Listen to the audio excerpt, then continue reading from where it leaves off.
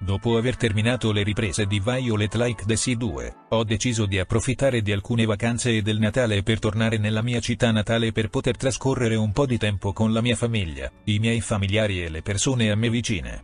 Era necessario riposarsi un po' e staccare la spina, anche se non sto affatto esagerando. Volevo anche gustare la cucina turca, che mi mancava moltissimo. Quando tornai a Roma sapevo che mi sarei allenato duramente, sapevo che ci sarebbe stato un cambiamento radicale nelle mie abitudini per prepararmi al prossimo personaggio, Sandokan. E così è stato, appena tornato ho iniziato a mixare. Il primo obiettivo era raggiungere il peso ideale per il personaggio e poi concentrarmi sugli aspetti mentali. È stato un periodo molto difficile, ho perso circa 10 kg in un mese, il mio peso è sceso da 94,5 kg a 85 kg.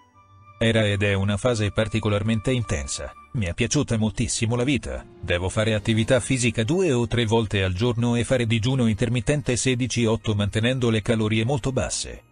Non c'è nulla di cui preoccuparsi però, nonostante sia stanca, sono completamente sana, ringiovanita, disintossicata e leggera, ma soprattutto sono molto soddisfatta.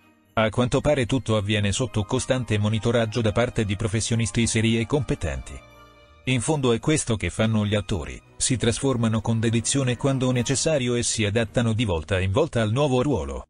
Insomma, continuerò a issare le vele fino a raggiungere il perfetto Sandokan che ci siamo predisposti. Ma confesso che oggi ho deciso di prendermi una pausa dalla regola e mangerò quello che voglio, sperando di trattenermi. Vi chiedo di continuare a sostenermi come sempre. Abbraccio. Arrivederci.